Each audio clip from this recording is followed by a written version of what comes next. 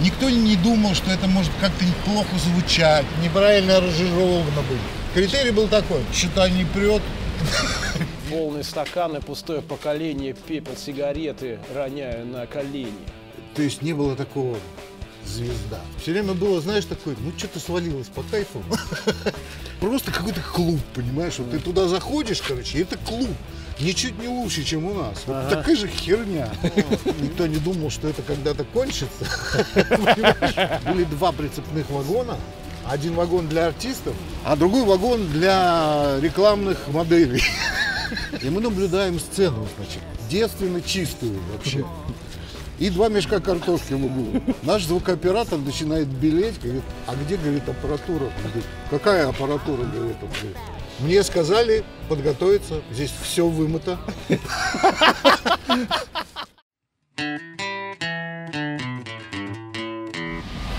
Ну, наконец-то в Петербурге нормальная, привычная для нас погода. Серая серь, с неба упало хрен знает что.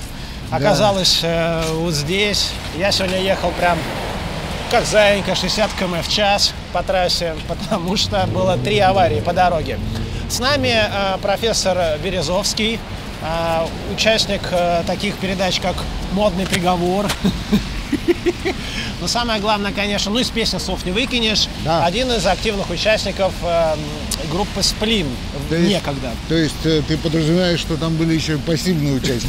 Да, ну, Это мы выясним сегодня в, процессе нашей с вами э, э, проходки. Ну и мне посчастливилось даже записать несколько песен со Стасиком, и даже одну из них фоном мы пустим, и я помещу вот там вот ссылку на один такой клипец, на одну из этих песен м, записанный. Пойдем туда. Ну, пойдем. Да, значит, э, мы выбрали эту локацию, потому что так захотел наш гость. И я хочу сказать, что на примере проходки с господином Лисовым не все вообще вкурили, что это у нас краеведческая экскурсия, но в данном случае я все-таки буду помалкивать, а только редко встревать со своим, э, так сказать, к- свиным рылом и лезть в этот калашный ряд, а мы будем разговаривать вот э, с нашим э, героем. Значит, скажи, пожалуйста, я так понимаю, что вот эта местность связана с определенными воспоминаниями твоей жизни. О, да, самыми светлыми воспоминаниями. Я приехал сюда, и мой рок-н-ролл начался с этого района. А давай тогда поймем, откуда ты приехал сюда. Ну, я приехал э, в Санкт-Петербург в 83 году из местечка под названием Капустин Яр-1. Это под Волгоградом. Есть такой специальный город, который сейчас даже более известен, чем тогда. Там у нас ракетных дел место. Вот. Сейчас там большой полигон. И, в общем-то, он такой, ну, закрытый город за колючей проволокой, военный. Вот. И я там играл в ансамбле, и один из музыкантов, басист, он поехал и поступил в УТИ. И я подумал, что как бы, ну вот я приеду, поступлю тоже, причем, и у нас будет ансамбль, и мы прославимся на всю вселенную. Не нравится мне как вот этот твой модный плащ. Ой, не плащ, а этот. Давай вот чуть-чуть вот сюда вот так вот. Да как скажешь, это Вот, кто у потом. нас с модного переговора? Ну, потому что трет он про микрофон. И Мне потом прилетит, а зрители они будут говорить, что за...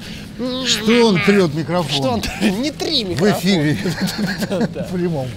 Да. Вот. Ну, Вот смотрите, у нас тут какая штука есть. Это вот как раз от бомбоубежища выход. Да. Да. Так, хорошо. Вот. Ты приехал... в 83 год, это уже такой самый-самый излет да, Излет чего? э, Советского Союза. Ну, вообще, блин, исту- история говорит, что нет. Это как раз расцвет, Расцвет. ленинградского рок-клуба, зайдем, скажем так. хороший двор. Я сюда приехал и сразу попал, в, в- как сказать, тогда это называли система. Система. Да. То есть ты попал в систему.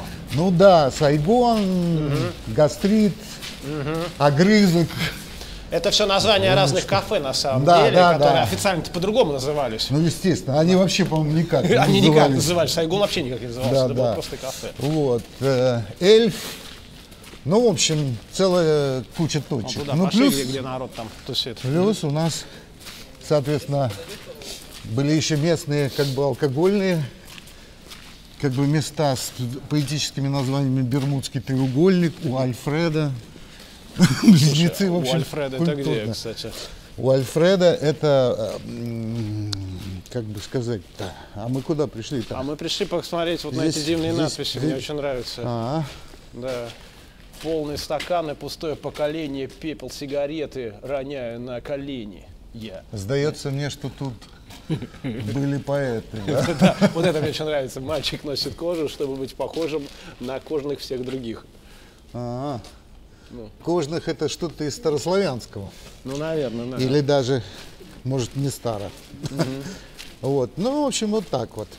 И, вот, и два года я здесь как бы просто радовался жизни, и нифига не учился, а потом меня взяли в армию. Опять я труп. Да блин, да что ж такое-то? Давай мы твой этот э, вот так вот сделаем. Во, я придумал. Вот так я, вот? я буду Васильевым. Я буду Васильевым, который. Ага. э, молодой человек, у вас вот этот вот шарфик, он немножечко э, сбивает Ну, что наш. такое? Во. О! Все, Все, стал похож на мы настроили звук стал похож на нормального Да. мальчика. нормального мальчика. О, э, Даниил, покажи туда наверх замечательную перспективу. Да, Тут еще здесь- так- да, такая это еще старая советская э, стенка лифтовая из, шахта. из старого Ленинграда. Браво. Дворы как колодцы. Да, а это на самом деле задник, можно сказать, театра имени Миронова. Так, хорошо. В общем, приехал ты в 83 Ну, году. потом да. в 85-м меня благополучно вытурили, потому что я занимался всем, чем угодно, только не, Не учился. не учился. Да. Ай-яй-яй. Вот, и я пошел в армию. Ну, про армию говорить как бы смысла нет. А вот когда я вернулся из армии, вот тут начал, начался в 80, э, соответственно, седьмом году, тут начался конкретный рок-н-ролл. Это как раз было время самого такого, ну, как сказать, 87 по 89 всяких сейшенов, э, Гребенщиковых, Цоев, э, Наутилусов там и прочих. В А, общем, а ты, соответственно, э, туда попал просто так или уже на каких-то правах? Э, в да эту- в какие эту тогда тус- были права? Ну, тебе выдали диплом. Да нет, я шучу, конечно. Но я имею в виду, может быть, ты познакомился с какой-нибудь, ты хотел что-то про Пусть Толстого, кстати, пару слов сказать. Да-да-да. А, Может быть, тебе ты познакомился с каким-нибудь гуру, там, я не знаю. Слушай, гуру тогда не было. Не было еще Ну, разве что БГ. Ну, Ну, с ними я познакомился уже дав- давно после. Ага. Вот. А та- тогда вообще, ну, немножко по-другому было это, как бы, да. Мы репетировали э, в, клубе трудных подростков «Дружба» на Римского, Римского Корсакова. Ага. Вот. Я там сейчас и, живу и это вот ситуация, как бы хиппи-панки, как бы вот эта вся история. Никто не думал о правах, о деньгах. Да, вот это как раз очень важный момент, что коммерческий элемент, он же тогда в принципе Отсутствовал. отсутствовал. Не, ну где-то как-то у кого-то может и присутствовал, наверное.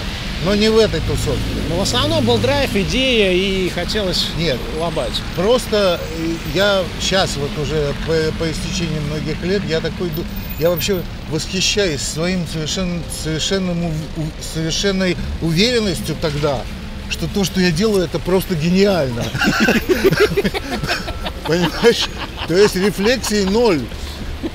То есть это было совершенно, ну круто же. Играть не умел никто, ну почти никто, короче, но это нисколько не смущало, понимаешь, людей. Меня, по крайней мере, точно. Более того, у нас были такие ситуации, когда мы вдруг однажды всей группой, трудовые резервы, тогда была такая группа, трудовые Слушай, я помню группу «Трудовые резервы». Ну, ладно, Ну, помню. название мне А, встречалось. на- Название Да. это, это был э, спортивный клуб Трудовые резервы. Вот. И была квартира, мы на квартиру вдруг ни с того ни с сего начали заниматься живописью и писали гуаши. В общем, что у нас там в мозгах творилось, я до сих пор восхищаюсь, потому что ну, никто не думал, ни- онлайн это все. Вот происходило, вот тогда был настоящий онлайн. То есть, когда не, не, не то, что вчера было, нас не, не- не волновало, не то, что завтра будет вообще. Понятно. Вот то, что происходит, никто не думал, что это может как-то плохо звучать, неправильно аранжировано быть. То есть какие-то слова какие-то там не, не те. Вот. Критерий был такой, что-то не прет, или что круто. Круто и не прет. А ты хотел что-то про поводу этой площади сказать? Слушай, ну, на самом деле на этой площади, как бы вот не на этой совсем, это просто вот когда я учился в институте, там был бар Пушкарь. Я не знаю, кстати, есть он такой. И вот там происходили смычки. Смычки? Да, в общем, ничего здесь больше я не хочу рассказать. Пойдем. Что, что такое смычки? Ну, люди- Ну, ну, всякие встречи, знакомства, бра... ну, такое настоящее студенческое такое. Опять же, блин, денег ведь не было. Я вообще как бы о деньгах не думал. но жить-то на что-то надо ведь Больше. было. Слушай, ну получала я стипендию 40 рублей. Я не помню вообще. Понимаешь, в том-то и дело. Ужасно и безответственно. А вроде здоровый уже мужик. Ну хотя какой здоровый? 17-18 мне было. чё.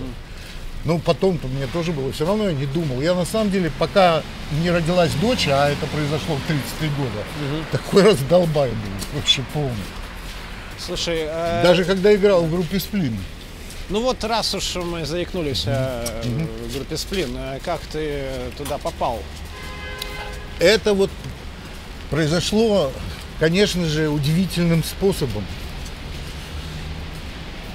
Вот когда я вернулся из армии, у меня было совершенно ку- такое достаточно большое количество всяких проектов. Ну, сейчас мы называем это проекты, а тогда, ну, как бы собирались, э, разбирались. Вот. И там куча-куча-куча, пока я не попал как бы каким-то невероятным образом. Ну, Потому что тусовки тогда был, были нормальные ситуации. Все сейчас в онлайне сидят, ну как бы в сети и так далее. Вот. А тогда не было же этого. И поэтому все приходили как бы на условную локацию. И там встречались и терли между собой. Как бы. И через это рождалось некое действо, да? Вот. И вот на каком-то таком вот на какой-то такой тусовке, я уже не очень помню, но я помню, что я встретил Колю Ростовского. Это клавишник нынешний. А они в это время записывали альбом «Коллекционер оружия» в театре Буф. Аудиоальбом, в смысле. Вот. Та- Там Сюда зайдем, хочу один показать прекрасное место, да. Вот. И, в общем, короче, и он такой, Коля, а я исполнял какие-то песни на английском языке, как бы с моим приятелем тоже Глебом Щенником. И он увидел, короче, видимо, как-то был очень поражен. И взял и позвал меня на студию. Ну, записать гитару. А вот. И я пришел такой,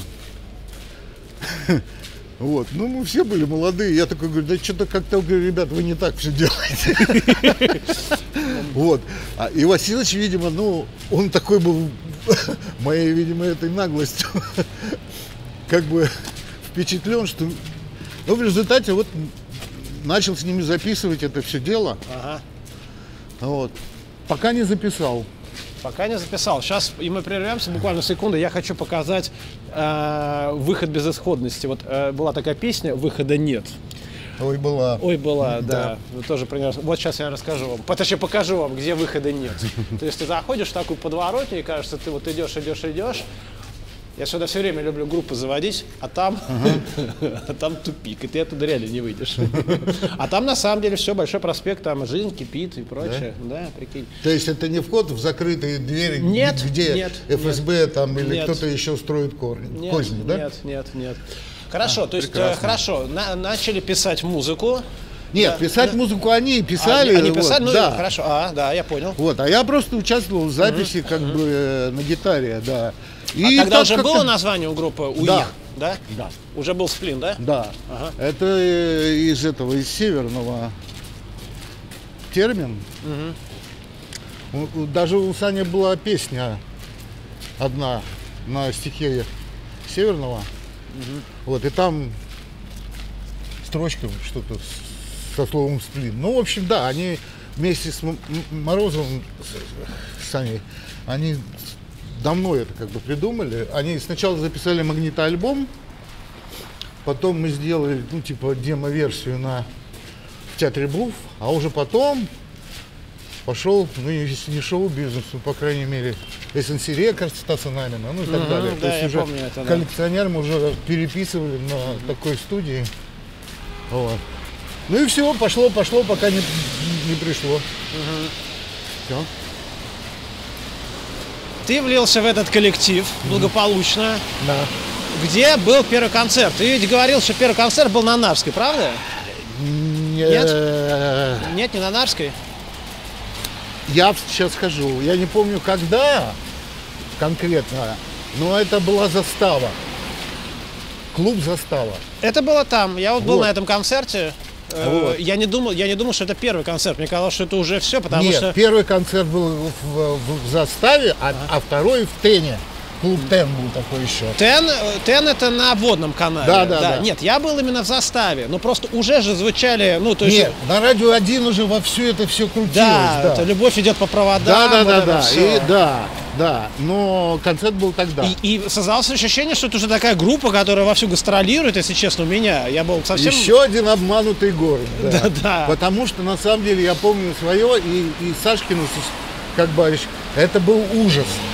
Ужас. Вот, вот это В чем был- ужас заключался? Ну было, блин, пипец как страшно. Выступать. Да, выходить вообще. Я Ты говорил, что ты его от батареи отрывал. Нет, я не отрывал его от батареи, конечно, да. Вот, но я, у меня была новая белая гитара, как сейчас помню, сделанная такая. И я одел красную рубаху, Ага.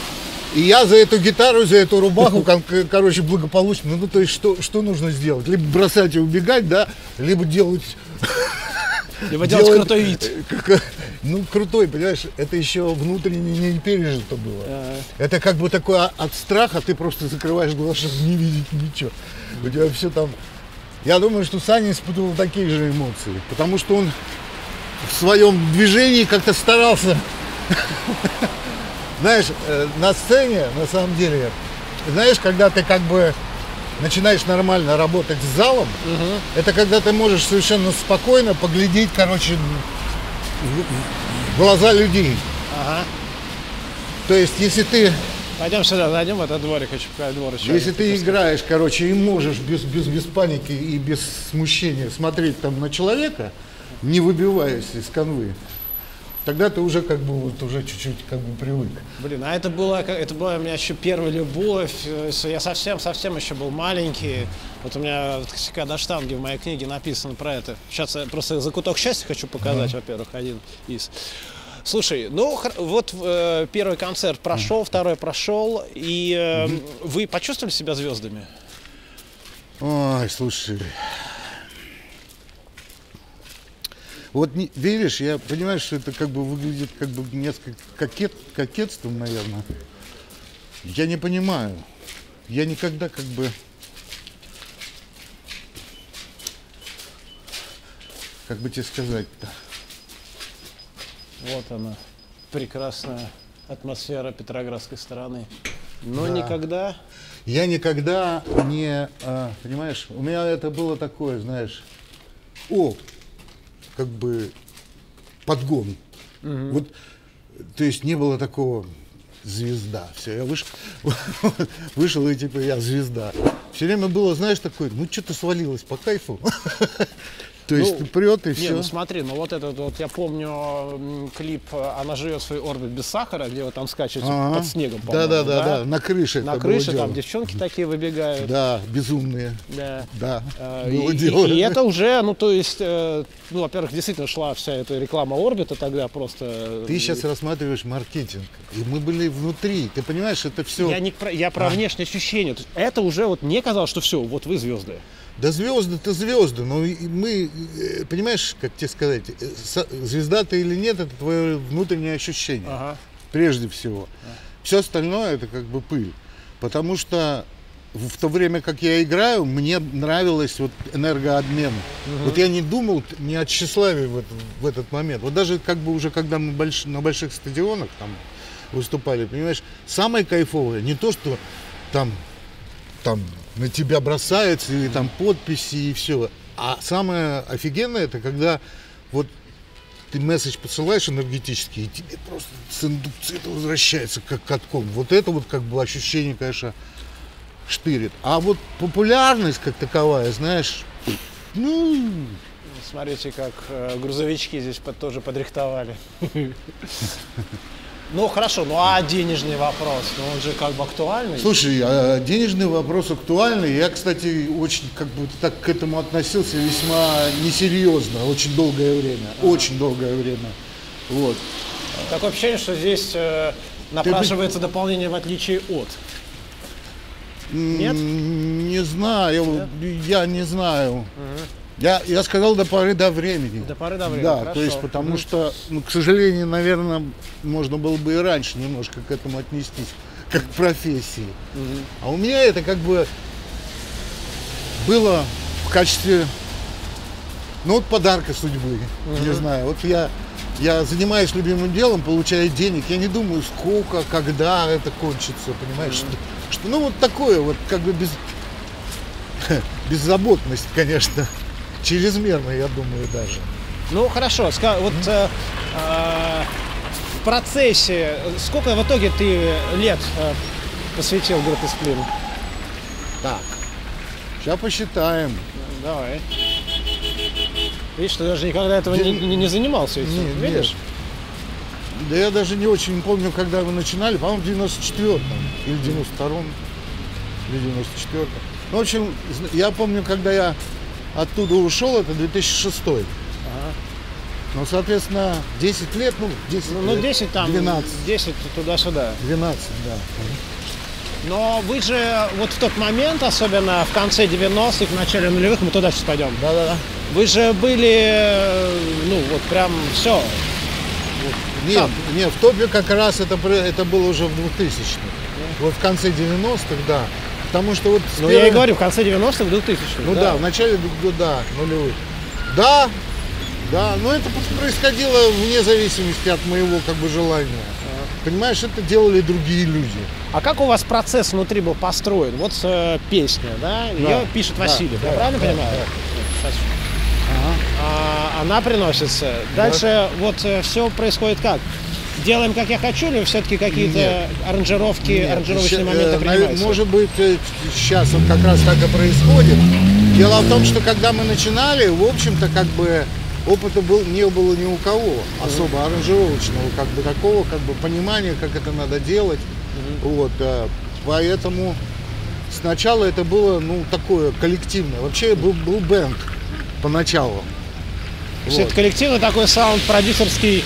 Да, да, работа, да. Ну, скажем, это, наверное, продолжалось, ну, там, первые три-четыре альбома. Мы, в принципе, э, я не знаю, как сейчас, вот, думаю, что сейчас более все авторитарно, ну, просто потому, что у, у Сани уже опыта больше, Ну, как бы, и он, типа, ну, Ну и это ну и плюс быть- ему, может, так ли, я не знаю, короче, может, не так, не Пойдем знаю. здесь пройдемся по набережной. Да, да, да. Там как есть переход. Да. В общем, т- сначала, э, сначала было коллективное творчество. Всем, бу- всех, всех перло, когда каждый что-то привносил. Но у нас такая штука была. У нас, как правило, в каждом альбоме новом а, какой-то новый появлялся член. Извиняюсь за выражение. Членом туда, членом сюда. Вот, ну то есть э, э, и этот человек как бы привносил некую новую струю, и как бы Васильев, видимо, его это как бы ну как-то возбуждало. Но это же э, улучшало процесс. Ну слушай, я, я взгляд. скажу, что запись альбома была очень тяжелым как бы мероприятием для меня почти всегда, за исключением вот 25-й кадр, например. Вот только с 25-го кадра, то есть я начал получать ну такое удовольствие от именно записи альбома. Вот от концертов я всегда получал удовольствие. Слушай, ну я не, не, не, не то чтобы мне прям это дико интересно, но в, в контексте твоего повествования все равно возникает вопрос, а окей, ну вот вы даете концерты, Ну. вы записываете альбом, Ну. вы, соответственно, э, ну что-то зарабатываете. Да. Как происходило распределение этих э, средств внутри коллектива? Ну, если это ты не хочешь говорить, можешь не говорить. Я э, сначала было все поровну, как я понимаю, да. Вот, потом, когда уже появился хип, ну, то есть продюсер наш, Мгм. Саша Пон- Пономарев, ну, то есть там до этого тоже были, как, как бы, мы со Стасом Намином работали, Мгм. но с нас тогда, видимо, много, в общем, не знаю, как только появились продюсеры, сразу началась, как бы, история, но меня устраивало, как бы, знаешь, я никогда, почти никогда не, не, ну, не лез, да и на самом деле не знал, что на самом деле творится. Вот. Но я, когда я как бы там был, ну для сведения, вот просто хочу сказать, конечно, времена меняются после того, как я играл с группой Сплин. Я не так давно, пять лет играл с Женей Любич, есть такая Да, девочка. да, да. Вот. И самый большой гонорар я получил в жизни с ней. Да? Да. Ничего себе. Да, не потому что она столько зарабатывает, как бы вообще, А потому что там перераспределение как-то по-другому а вот происходило? вот просто это не свидетельствует о том, что там Женька там прям миллион зарабатывает, отнюдь нет, она не настолько. Но это свидетельствует о, том, что я тогда не очень много зарабатывал, скажем так. Но меня хватало, знаешь, Слушай, новую квартиру же ты купил? да, но я все равно занимал денег. Ага. Да, ну нет, купил, да. Да нет, ну как бы грех жаловаться Мгм. Том смысле, что если вот взять, я как бы э, играю, зарабатываю там три, ты- три там, три с половиной тысячи долларов там, например, Ага. в месяц. Вот. Ну и нормально, что, мне хватало. Ну, вполне, по- тем более по тем-то временам. Да, но никто не думал, что это когда-то кончится. Вот. Что-то казалось, что это никогда не кончится. Ну, как бы вообще. Вы гастролировали... Гастролировали, вы гастролировали, да не вы гастролировали. А ведь США ведь тоже были. Были трижды. А, расскажи, как э, это происходит вот именно глазами музыка. Я просто был там, э, ну, в- и у меня там приятели, мои друзья, они ходят периодически. Там, мне Женя один раз, мой Карифан звонит и говорит, ты знаешь, на кого я сегодня сходил на, на гражданскую оборону? Я никогда не думал, что я в Бостоне, или где там, в Нью-Йорке, но в Бостоне живет. А, как это происход- происходило там? В смысле, как? Ну, есть какие-то вообще отличия гастрольных э, историй? э, А, слушай, я тебе скажу следующее. Ну, у Скажи. нас вообще первый раз, первый концерт был в клубе Трамп, ага. для сведения. Вот. Причем вчера в этом клубе выступал Боб Дилан, Ага. А завтра он закрылся. Вот. Так что мы внесли как бы в разруху Америки вот свой посильный вклад. Да, тогда, когда мы первый раз приехали, еще CBGB как бы функционировал, да, я очень жалею, что я туда не сходил. Но вообще, как бы, надо понять, что Америка, ну, в смысле, это, конечно, как сказать, нет, наше представление об Америке, музыкальное в смысле, это Голливуд. Не в смысле, э, в том смысле, что оно не соответствует э, Действительности. действительности. Мгм. Несмотря на то, что там невероятное количество совершенно волшебных музыкантов, вот, вот этот флер, который мы как бы в себе держим, да, всю свою как бы ограниченную советскую жизнь, вот, этот флер, он как бы не соответствует тому, что там есть. Там это все В очень... чем это, в чем это выражается? Ну вот самое яркое, что тебя просто, поразило. Просто Вот речи. Ну вот, эм, ну вот просто, вот просто вот, блин, ну я не знаю, просто какой-то клуб, понимаешь? Вот ты туда заходишь, короче, это клуб, ничуть не лучше, чем у нас. Вот Ага. такая же херня, понимаешь? Вот, ну, то есть нар- народ, короче, там какие-то столы, никакого как бы гламура на самом деле. Наверняка там, конечно, есть гламур, там все это есть. А, ну ты в этом плане имеешь То есть ты заходишь и, в общем-то, как бы... Но на сцене стоит человек без всякого пафоса. Ну, фантастически играющий просто. Мы были на концерте рит, э, значит, ритм and блюз кафе какое-то, и там выступал бенд и ритм-секция, э, кото- в, в котором, ну, гитарист, который за- записывался вместе с э, Джеймсом Брауном. А ритм-секция потом же я увидел, которые играют с Джеком Уайтом. И я такой, ну, мы сели, ну, мне ж, конечно, интересно. Говорю, а чё, чё, как? Он такой, ну, вот три концерта, говорит. 200 долларов за концерт. Ну, разрыв, как бы, понимаешь, да? То есть, ну, они же, они же великие. Они, блядь, они великие, потому что они так играют, что башку свернуть можно. Понимаешь? Но 200 долларов за концерт. Ну, 200 долларов за концерт и три концерта за вечер. Понимаешь, то есть эти ребята реально пашут. Несмотря на то, что они записывают альбом с Джеймсом Брауном, со всеми остальными. Но это Нью-Йорк.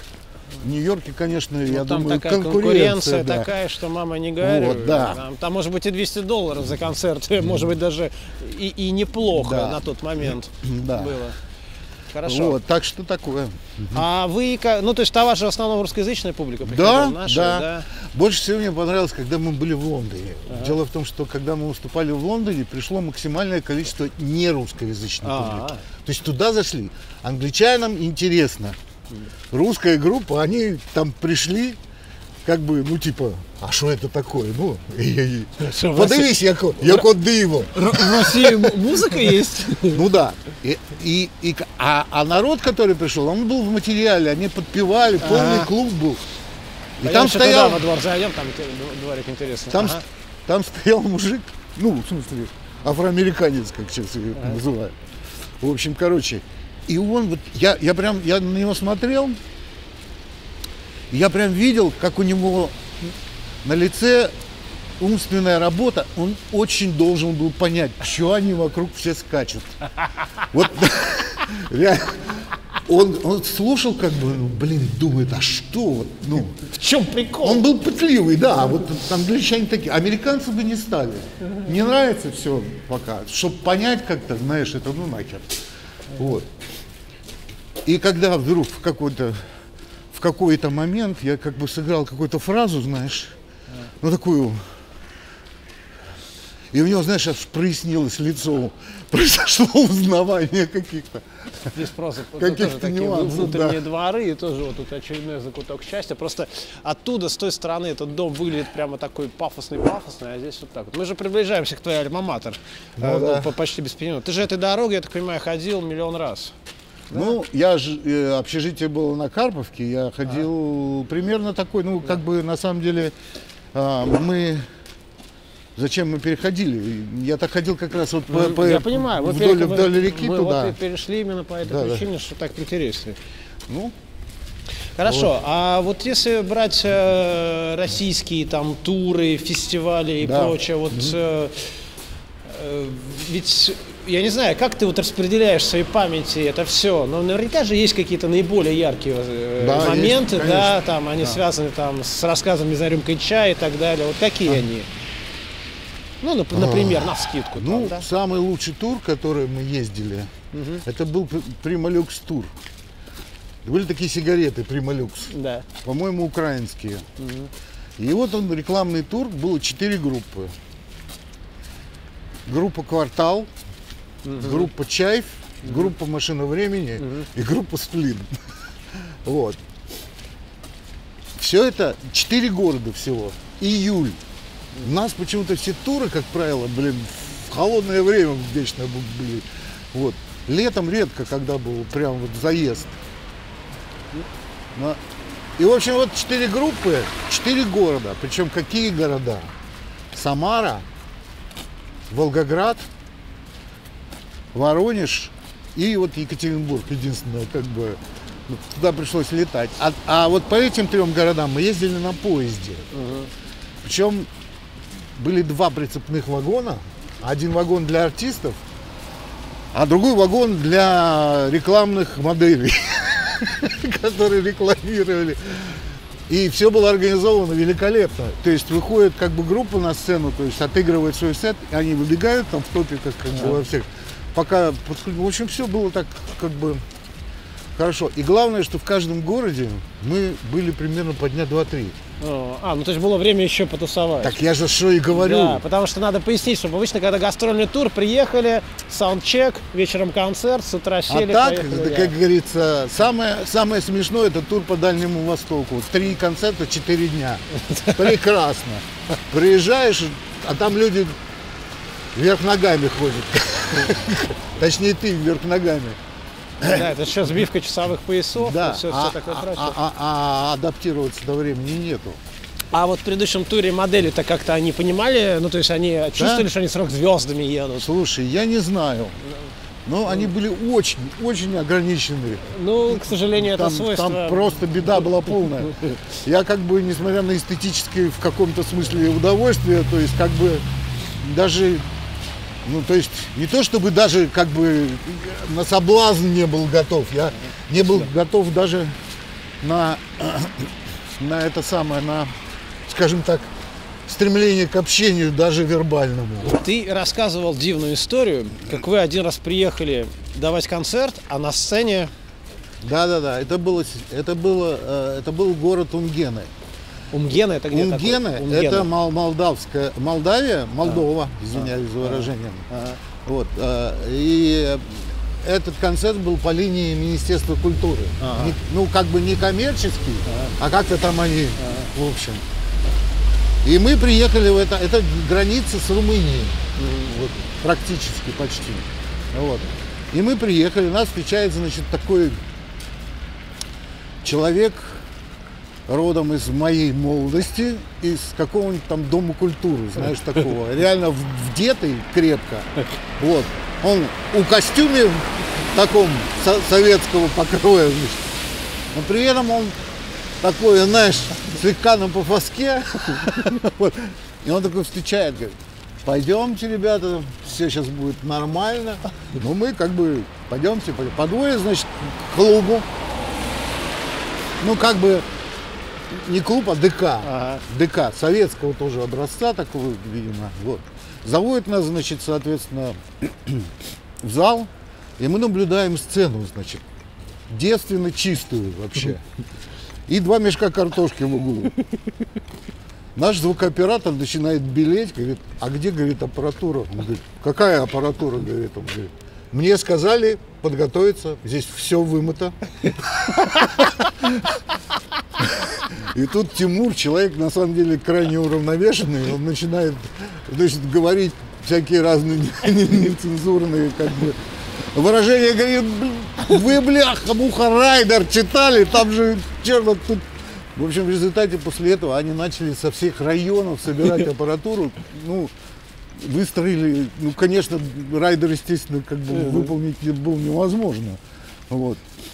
Какую-то невероятную конструкцию. Короче, вот.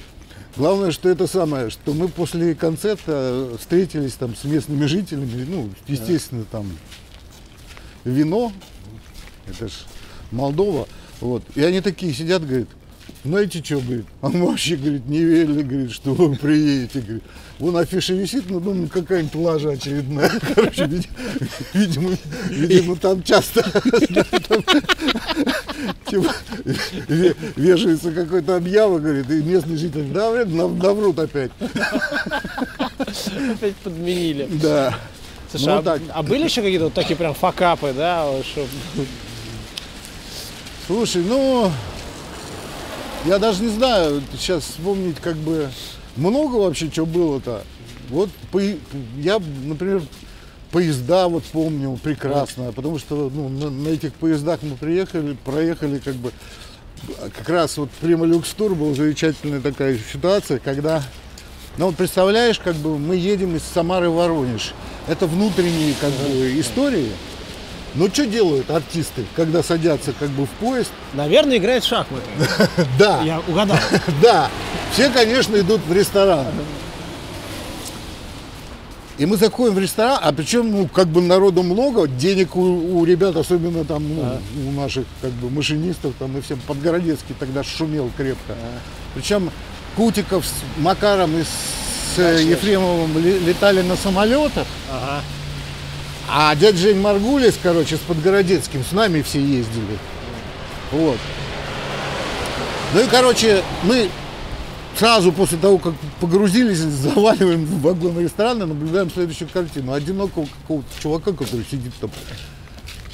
Повар и официантка пьянющие, короче, они такие, ну им нормально, то есть одного человека можно, а тут заваливает, короче, 15 человек и говорит, нам все. Что все? Все давай, есть, пить, все, что... Повар, короче, блин, ну геморрой-то, представляешь, нормально ехал. Нормально же сидели, что началось? Да, откуда они взялись все эти? Вот. И я помню, совершенно замечательный человек, то есть это как сам нам было идешь, значит, с двумя, короче, одинаковыми как бы тарелками, там с каким-то мясом, значит, и, и она подходит такой, говорит, Эскал, э, вот вам ваш эскалоп. Он говорит, я заказывал лангет. Она такая, вот вам.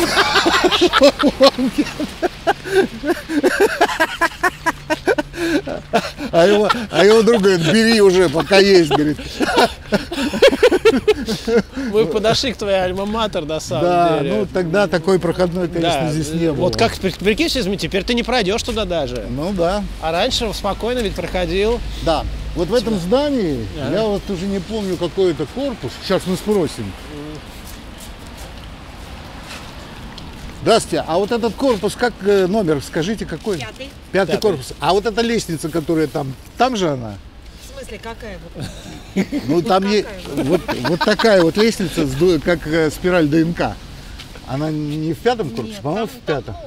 Я не могу ответить, чтобы она Там, там может была. быть, в переходе из пятого в третий. Ну, может А вам быть. что-то вы хотите что-то снять? Я просто здесь учился, вспоминаю. А, понятно, понятно. Вот, по- в пятом корпусе, она все не знает даже ничего. В пятом корпусе. Нет, там удивительная лестница, короче. Там внутри удивительная лестница, которая как спираль ДНК. И, и какой-то даже архитектор получил за это премию. Хотя я бы вот взял бы его за ноженьки. Вот. Там фишка заключается в том, что как бы если ты заходишь с одной лестницы, ты попадаешь только на, на третий, на пятый, а со второй на второй и четвертый. А, И ты не видишь, куда она идет. Она так забаррикадирована, короче, ну вот такая штука. ну, Что? понятно. Да. То есть ты. Ну, меня звали, на самом деле, туда. Мы туда сходим обязательно, снимем. Что у меня коллега там преподает язык. То есть снизу ты не определишь, как бы, А. какая лестница приходит, как бы. Если не знаешь, можешь просто не на тот этаж попасть. То есть э, эстетски, концептуально все прекрасно, но с точки зрения практичности нафиг нафиг. Ну да, то есть пока ты как бы не выучил, в общем-то, можно как бы все время не на тот этаж попадать. Э, Скажи, пожалуйста, а ну вот все так было прекрасно, заши- замечательно, а что же тогда привело к твоему уходу из коллектива? Ой, слушай, ну это как бы такая эволюционная история, я думаю, что Саня просто, ну, ему нужны были перемены. Э, Я еще долго продержался, потому А. что, например, клавишник на два года ушел тоже. Вот, басистов у нас немерено, ну, не, басистов у нас сколько было? Коля Лыстов, Серега Наветный, да, э, э, это не басист, это барабанщик. Серега, вот, ну, наверное, барабанщик, да, да, э, да, а Коля Лысов, Серега Наветный, сейчас Леха Мещ- Мещеряков. Еще один был. Вот, надо, кстати, с наветным будет проходочку сделать. Вот. Еще, еще один был барабанщик ну, поначалу. То есть четыре барабанщика поменялось за это время. А ты Ба- держался, да, такой А? стойкий оловянный Ба- солдатик? Басист, э, басист, значит, первый был Морис, собственно, потом он стал директором. Вот. Ну, сначала тур-менеджером, а потом уже теперь директором. А Вот. э, Потом... Ну, в общем, тоже Ну, короче, 3-4. Да, ротация человека. наблюдалась. Ротация наблюдалась, да. А это как бы было связано в связи с чем? С какими-то творческими Я, разногласиями? э, дело в том, что дело в том, что мне кажется, у меня есть только версии, да, ну как бы я, мне кажется, что Сане нужен, он очень часто, знаешь, ему нужно было на сопротивление. М. Вот если все ровно, то его как бы, видимо, это не, не устраивало. То есть какой-то всплеск, какой-то ну, толчок, не знаю. Вот. Другое дело, что многие люди как бы ищут этого толчка, как бы, грубо говоря, там, ну, в чем-то вне группы, а он искал внутри. У меня Был совершенно удивительный случай еще в коллекционере оружия, когда мы записывались на SNC Records. Я придумал один риф в одной из песен. Вот. А Василыч, короче, ска- говорит, не, нет, говорит, это он плохой риф. Я говорю, это очень хороший риф. И еще тогда у меня были силы с ним спорить. Вот, потому что потом я уже как бы не спорил. Потому что, ну, тяжело. Вот я Морозову, как бы, Морису нашему говорил, слушай, вот посмотри, он говорит, да, говорит, хороший риф. Василий говорит, нет, плохой риф, это как бы полная фигня. Мы вызвали, короче, нашего продюсера тогдашнего. Я говорю, вот Серегу посмотри, Серега Шкоджин тогда был. Он говорит, да, хороший риф. Василий сказал, нет. Я говорю, ну давай пока. В общем, это продолжалось два часа. Вот. И он такой, скрипя сердцем, говорит, ну давай, ладно, говорит, давай, ну пока оставим. Ну, то есть, типа, еще через два часа он такой, слушай, ну может, да не, нормально. Два часа, три человека его уговаривали, понимаешь. То же самое было, он написал песню «Рыба без трусов». То есть совершенно тогда, ну, как бы популярная. Я не буду играть, это отвратительная песня, это ужасная песня. Он уперся рогом, короче, там вообще просто. Его все уговаривали, говорят, да ты что, Саня, говорит, «э- эту песню ждут, ну как бы. Нет, это ужасная песня, кошмарная, то есть нет. Ну вот ему, видимо, нужно было какое-то сопротивление такое. Вот. Ну и, видимо, пришло время мое. То есть подкатила э, музыкальная пенсия. Да. Ну, Понятно. в общем. А, Так что такое, ну, как бы... Ты как ему- воспринял эту ситуацию? Слушай, ну, я сразу скажу, что как бы я, как тебе сказать, я не совсем был готов к этому, но это моя вина. Вот, потому что я как-то жил, жил, жил, знаешь, так как бы у Христа за пазухой, как говорят, а вдруг банц, и все. Нежданчик. Но я очень, на самом деле, благодарен э, как бы судьбе за эту ситуацию, несмотря на то, что, конечно же, я потерял ну, много времени и, разумеется, денег из-за этого. Но, во-первых, я не уверен, что я бы был бы жив, если бы я остался в группе. Вот В так. смысле, ты спился бы или Ну, что? я, ну, ну, как бы спился, это только один аспект, как бы все. Не нервы, все вот это, да? Ты имеешь в Да, виду? да, вот эта вот усталость, она накопилась, это как гиперкомпенсация происходила, алкоголь, короче, обжорство там и вообще все-все-все.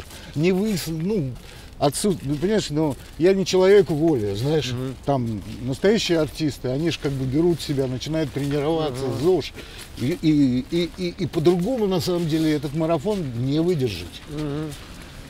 А я же не такой, я бы качусь и качусь, как бы, и я боюсь, что как бы, если бы Господь как бы так не сделал, то есть как бы, да, и неизвестно бы. Ну, то есть, в общем-то, можно сказать Васильеву даже спасибо за это. Слушай, ну, Такой, я понимаю, немножко провокационный ну, вопрос. ну, Васильеву, не Васильеву, ну, спасибо, наверное, нужно сказать. Хотя, конечно, то есть, Я конечно, все-таки немножко встряну. Ну, во-первых, вот эта церковь, которая была построена по проекту Константина Тона, единственная сохранившаяся, пять церквей у него было, все посносили, вот это вот осталось.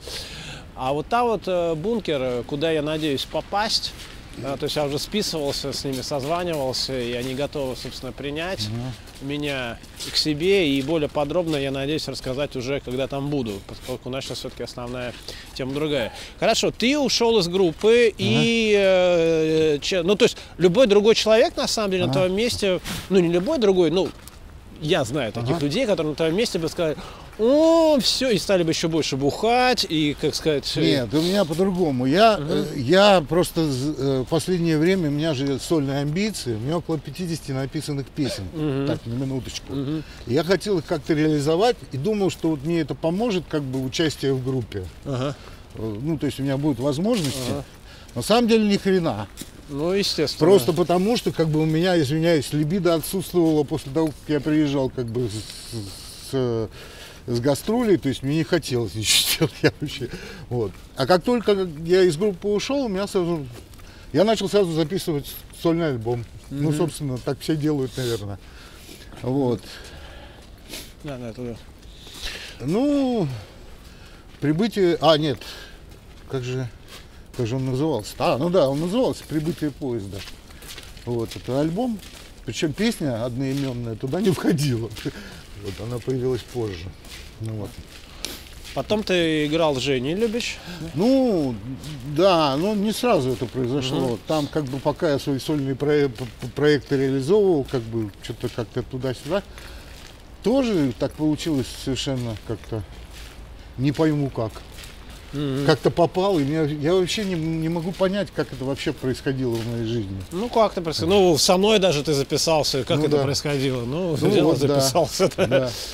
Ну а как вот ты меня нашел или я тебя нашел? А я даже не помню, как. Вот, вот я об этом тебе Слушай, и мы говорю. как-то встретились. А, причем же с нами же еще играл Антоха из пойменных муравьедов. То есть, в Да-да-да. принципе-то, э, состав-то был, в общем-то, очень даже недурственный. А, и Ксюша играла, дочь э, Да, да, да, Федорова, да, да, да, да. Лени из Да, аукциона. да, То есть, да, да, по да. сути-то, как бы... Да, ну, было, это да.